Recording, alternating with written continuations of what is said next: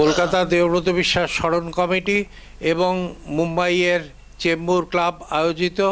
আজকের যে অভিনব সন্ধ্যার আয়োজন করা হয়েছে নভি মুম্বাইয়ে, তাতে প্রখ্যাত সংগীত শিল্পী স্বপন গুপ্ত মহাশয় এসেছেন এবং তার সাথে এসরাজ বাজাবেন আজ শিউলি বসু, যিনি রবীন্দ্রনাথের সান্নিধ্যে, বা যিনি ছিলেন বিশ্বভারতী শান্তিনিকেতনের এসরাজ বাদক, পরলোকগত অশেষ বন্দ্যোপাধ্যায়ের কন্যা এবং কলকাতার এখন প্রথম সারির এসরাজ বাদক হিসেবে আমরা শিউলি বসুকেই জানি। তিনি শুধু রবীন্দ্রসঙ্গীতের গানের সঙ্গে এসরাজ বাজান না, তার সঙ্গে রাগাশ্রিত গানের সাথেও উনি এসরাজ বাজিয়ে থাকেন। আমরা এবার তার কিছু কথা শুনব।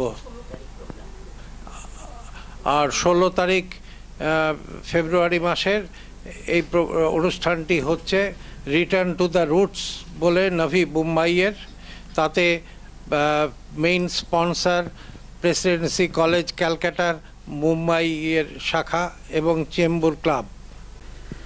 আমি অ্যাকচুয়ালি ছোটোবেলা ন বছর বয়সে বাবার কাছে প্রথমে সেতার শি- শিখি। বাবা আমাকে প্রথমে সেতারটাই শেখাচ্ছিল।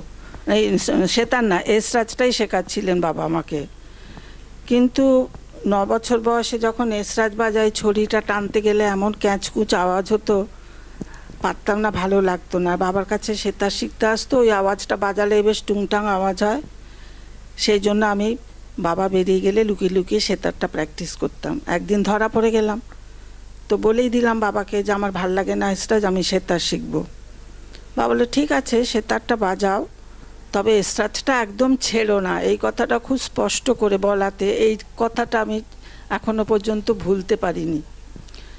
তো তারপর যাই হোক, আমার যা আকাশবাণীর কাজ, চাকরি সবই সে তারটা নিয়েই আমি সবখানে আগে করেছি। সেভাবে আমি এসরাজ কোথাও বাজাইনি।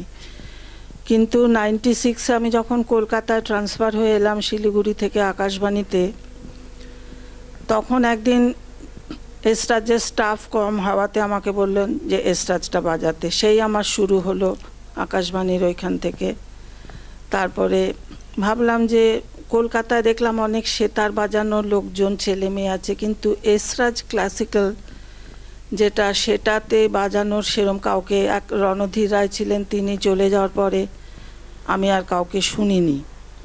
এই করতে করতে আমার এক জাতুত দাদা অমিয় রঞ্জন বন্দ্যোপাধ্যায়, তিনি তার ছেলে শান্তনু বিষ্ণুপুর ঘরানা নিয়ে। আমাদের ঘরানাটা হচ্ছে বাংলার একমাত্র ঘরানা, বিষ্ণুপুর ঘরানা। বিষ্ণুপুর ঘরানা নিয়ে ও ও একটি কাজ করছে। আমাকে বলল, পিসিমা, আপনাকে ক্লাসিক্যাল বাজাতে হবে কারণ কলকাতা অনেক বছর এস রাজ্যে কেউ ক্লাসিক্যাল বাজায়নি। বিড়লা সভাঘরে সেই প্রথম আমি ক্লাসিক্যাল বাগে শ্রীরাগ বাজালাম রাত্রিবেলায়। বাজানোর পর অনেকে অনেক রকম কমেন্ট একজন বললেন, এমন বাজালেন, কান্না কেঁদে ফেলেছি। একজন বললেন যে, আপনার হাতটা ইনশিওর করে রেখেছেন। এই ধরনের কমেন্ট শুনে মনে হলো, যাই হোক, তাহলে বাজে বাজায়নি চলে যাবে। এইভাবে আমার এসরাজ ক্লাসিক্যাল বাজনা শুরু হলো। তারপর আমি রবীন্দ্র সদনে বাজিয়েছি, বেশ অনেক জায়গায় কলকাতার মধ্যে ক্লাসিক্যাল বাজিয়েছি এবং সবাই সেখানে খুব অ্যাপ্রিসিয়েট করেছেন যে, এরম তো বাজনা আমরা শুনিনি। তাছাড়া তো গুরুদেবের গান আছে সেটা তো বাজি বাজাই। এইভাবেই এখন চালিয়ে যাচ্ছি আমি।